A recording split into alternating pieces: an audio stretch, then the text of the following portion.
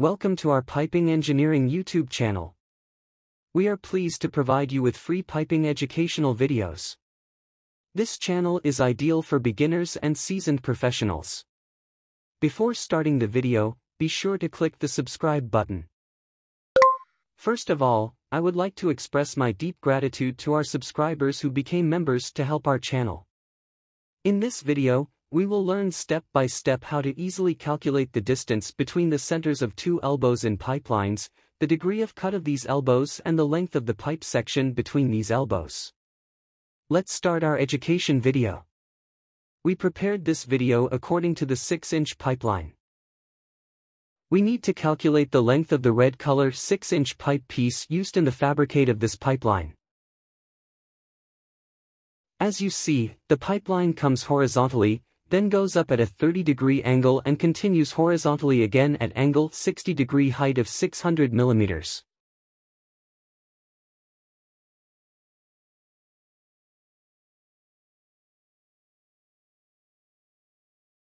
To find the length of the red pipe piece, we first need to calculate the distance between the centers of the pipe elbows, then we can find the length of the red color pipe by subtracting the lengths of these two elbows and two gaps for welding from the total length.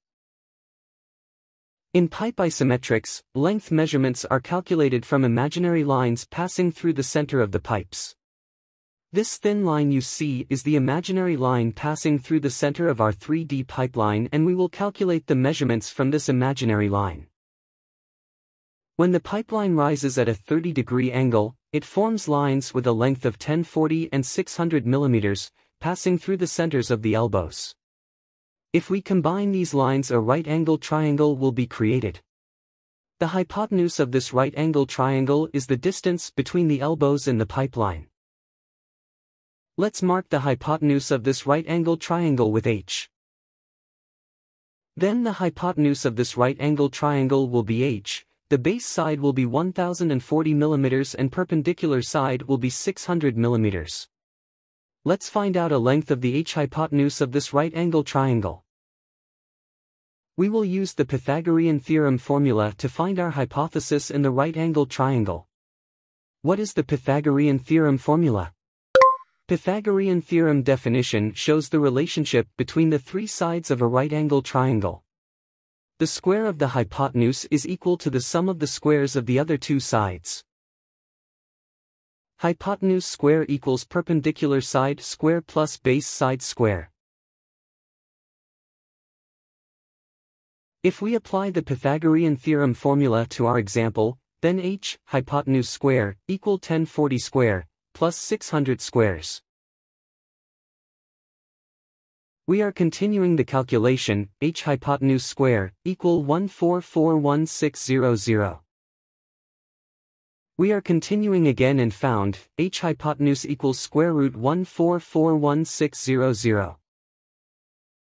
Using the multifunctional calculator, we find h hypotenuse equal is 1200 millimeters approximately.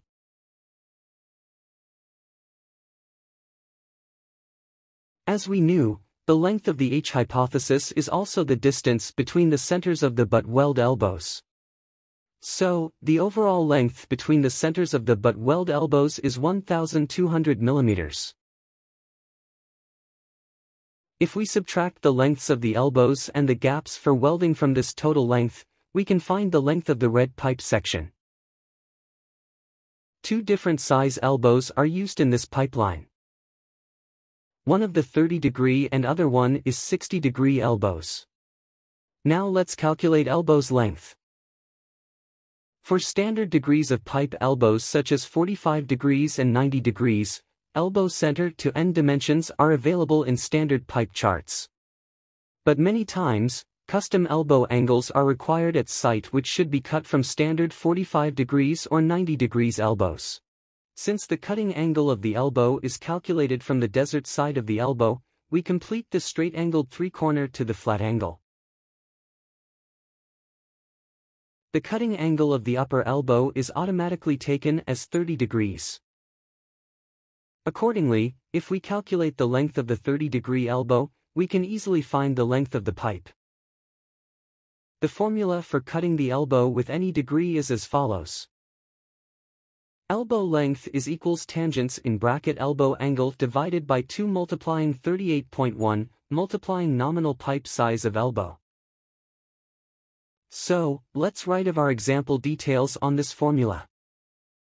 Elbow length is equals tangents in bracket 30 degree divided by 2 multiplying 38.1 multiplying 6 inch. Using the calculator, we find that the tangents in bracket 30 degree divided by 2 multiply 38.1 multiply 6 inch will be equals 61. So, we calculated and found that the 6 inch 30 degree elbow center to end dimension will be 61 millimeters. Now, look at the fit-up process pipe elbow to pipe in the pipe lines.